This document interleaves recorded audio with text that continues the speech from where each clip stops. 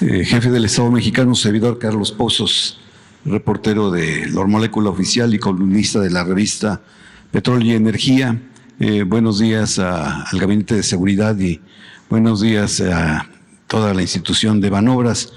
Eh, justamente, presidente, por, por estos 90 años de, de Banobras, en México se tiene una pues larga historia, desgraciadamente, de fraudes y desvíos millonarios y en, su historia reciente pues está la estafa maestra y FICREA.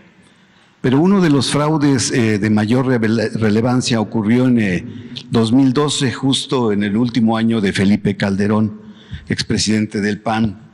En ese año, presidente, eh, Pemex, a través de PEP, Pemex Exploración y Producción, formalizó con la empresa Rotary Drillings International SADCB para obtener dos contratos eh, para realizar perforación de pozos petroleros y producción.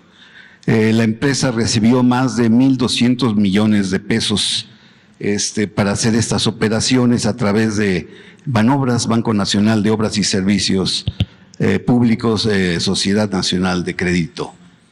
Sin embargo, pues este, no prestó ninguno de estos servicios y este, pues pasó eh, eh, esta información la tuvo la Procuraduría General de la República y solamente se tuvo a una persona detenida, a Rafael Cruz eh, Sosa. recordar desgraciadamente que pues también Felipe Calderón en el 2003 fue nombrado por Vicente Fox Quesada director de Banobras en el 2003. presidente, estos eh, actos de corrupción eh, muestran que eh, la alternancia en el 2000, en el año 2000, cuando pues se da la estafeta, el PRI le da la estafeta al PAN, fue para preservar un Estado corrupto paralelo que se fundó desde el alemanismo. Y preguntarle, presidente, usted acaba de decir respecto a Genaro García Luna, que probablemente pudiera pues hasta dejarse en libertad. Eh, usted como jefe del Estado mexicano, ¿sabe si la Fiscalía General de la República tiene la petición de extradición a través de la Secretaría de Relaciones Exteriores? Porque pues este, el policía del panismo no se encuentra en territorio mexicano. Pues sí, hay denuncias, eh, hay esta civil y deben de haber denuncias penales también. Sí, se las acabo de pasar. Sí, hay denuncias penales. Este, lo de manobras, este, eh, me acordé ahora, fíjate. Este,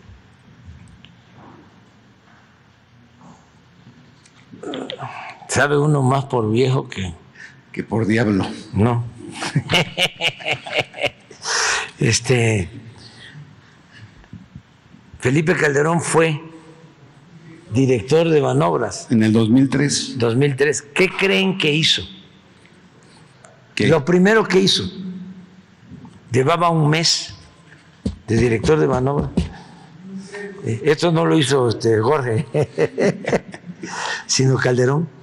Un mes y pidió un crédito a Manobra para construir su casa para no construir, para comprarse su casa. Porque los funcionarios de Manobra, antes, ¿cómo está Jorge? Tenían esa, este... Había créditos hipotecarios y para autos. Habían créditos. Y, ya se eliminaron. Pero después de tres años en tenía uno de después de tres años, pero este llegando, llegando, solicitó su crédito. Y luego, como se hizo público, con un este, amigo de un funcionario cercano a él, que trabajaba en un banco, en el canadiense, Scotiabank, este, transfirió el crédito, porque como fue un escándalo, pero lo primero que hizo este, fue eh, otorgarse su crédito Y yo estoy seguro que entonces, porque en ese tiempo, ¿cómo falta este, hacer periodismo de investigación? En ese tiempo habían también eh, los fondos de ahorro para los altos funcionarios públicos.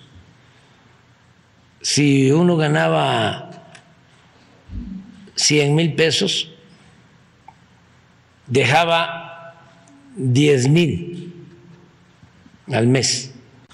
Y el gobierno con ese fondo aportaba otros 10 mil y ya era un ahorro de 20 mensual. Cuando terminaban sus funciones, se llevaban todo el ahorro. Cuando pasaban a otra dependencia, ¿saben cuánto costaba mantener ese fondo de ahorro cada año? Eso es información para los que van a venir a protestar el, el domingo. Costaba 6 mil millones de pesos al año. Y eso desapareció.